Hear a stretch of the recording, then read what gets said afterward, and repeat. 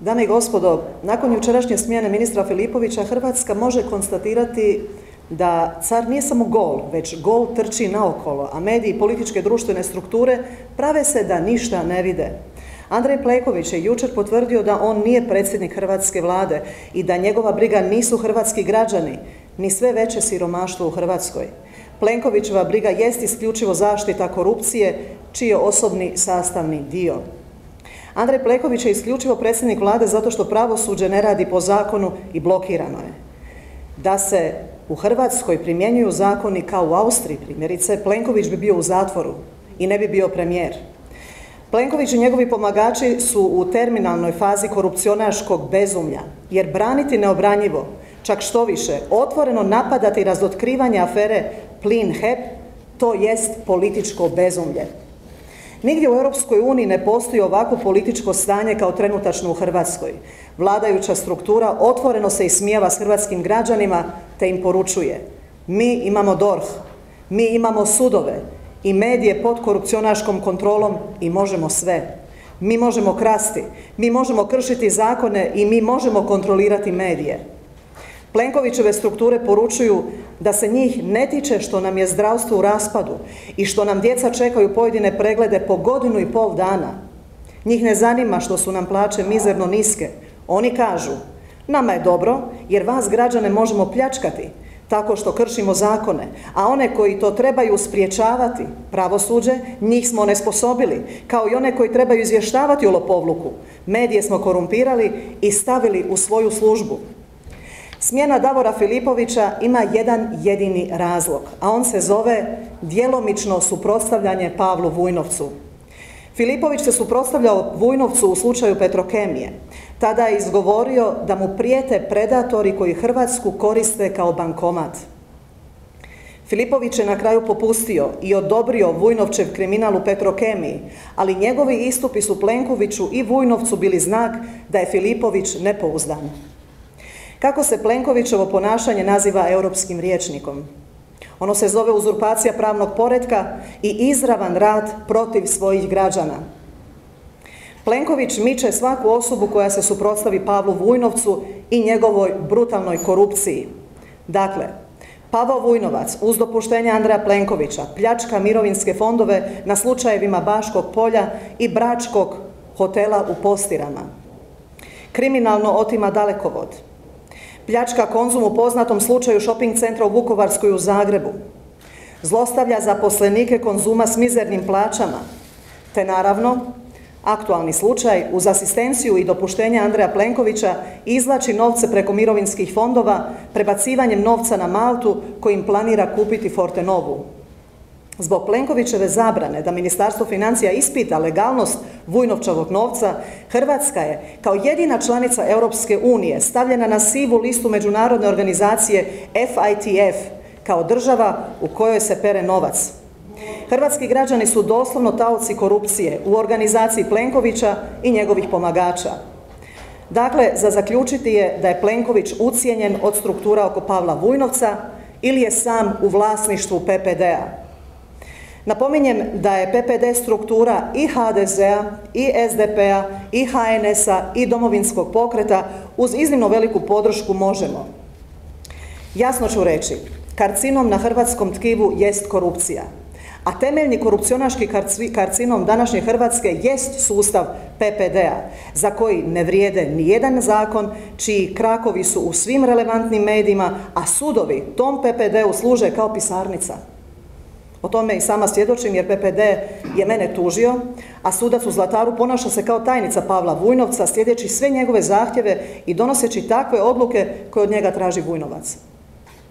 Hrvatska ima premijera koji se ne bavi upravljanjem državom.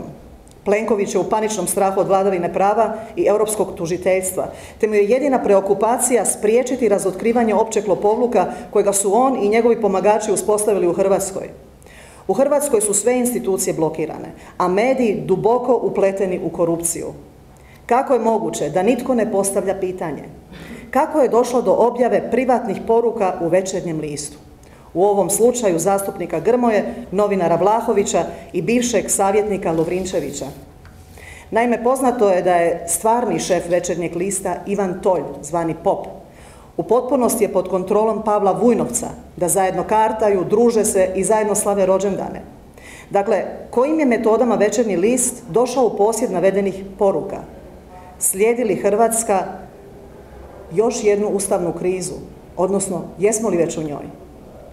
Jer, kao što znamo, ključna osoba uz Pavla Vujnovca jest Josip Jurčević, bivši drugi čovjek tajne službe, SOE, a sadašnji drugi čovjek, SOE, Davor Franić, živi u istoj zgradi s Marijem Radićem, koji je partner Pavla Vujnovca i stvarni šef takozvanog i samozvanog domovinskog pokreta. Postavljam pitanje, je li tajna služba SOA nezakonito pratila zastupnika Grmoju? Ako je ključnim političkim čimbenicima u Hrvatskoj normalno da tajna služba i represivni aparat sudjeluju u međusobnom razračunavanju pojedinih kriminalnih skupina, meni to nije normalno, jer to je protivno elementarnim normama vladavine prava, Hrvatskom ustavu i ugovoru o Europskoj uniji, te elementarnim demokratskim standardima. Predsjedniku vlade Plenkoviću je sporno da je netko iz ministarstva zastupniku Grmoji dostavio dokaze za aferu HEP plin. Dakle, Plenković tim izjavama potvrđuje da osobno štiti kriminal, te zlouporabama državnog aparata spriječava razotkrivanje kriminala. Ja iz Hrvatskog sabora čestitam i gospodinu Lovrinčeviću i kolegi Grmoji i novinaru Vlahoviću što su otkrili lopovluku HEP-u u takozvanoj aferi plin za cent. Parafrazirat ću Franju Tuđmana koji je rekao da će i s crnim đavlom pregovarati za interese Hrvatske države. Ja poručujem da svatko tko doprinosi u razotkrivanju i spriječavanju korupcije, radi u interesu hrvatskih građana, Hrvatske države te europskih vrijednosti. Smijeniti ministra gospodarstva zbog korupcije od 200 tisuća eura koje je dao medijima je iz perspektive stvarne korupcije u Hrvatskoj doista bizarno. To je kao da nekoga smijenite zbog krađe jednog kruha, a istovremeno netko krade tvornicu i taj ostane nekažnjen. Upravo je Plenković putem takozvanih medijskih konferencija i lažnih reklama, putem HEPA i gubitaša hrvatskih željeznica, korumpirao cijeli medijski prostor. Plenković je u sedam godina svoje vladavine dao na stotine milijuna eura novaca poreznih obveznika medijima, kako oni ne bi radili profesionalno, već medijski štitili njegov lopovluk. Onome o čemu svi šute, ja šutjeti neću. Jer Plenkovićeva korupcija i podmičivanje medija jesu glavni uzročnik urušavanja društvenog i pravnog poretka kojemu svjedočimo. Znanost, školstvo, policija, zdravstvo i sve druge vitalne grane u Hrvatskoj imaju uvredljivo niske plaće, dok su nam cijene neshvatljivo i neopravdivo visoke i brutalne. Plenković je jučer nastupio kao da je pao s Marsa, pokušavajući jeftinim štosovima prikriti činjenicu koju cijela Hrvatska zna, da je duboko u korupciji i da uopće ne upravlja Hrvatskom. Dame i gospodo, bivšem austrijskom kancelaru jučer je bio šesti dan suđenja. Prijestupi austrijskog kancelara su doslovno kikiriki za ono što radi Andrej Plenković. Ali iz razloga što austrijska državna tijela rade svoj posao, Austrijanci imaju tri do četiri puta veće plaće, dječje doplatke i funkcionirajući zdravstveni sustav. Hrvatska ima premijera koji državni aparat koristi za privatne interese pojedinih tajkuna kao što je Pavao Vujnovac.